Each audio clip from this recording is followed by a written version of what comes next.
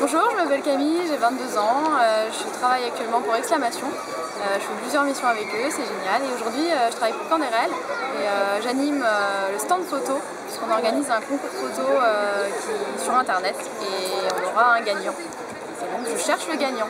Voilà.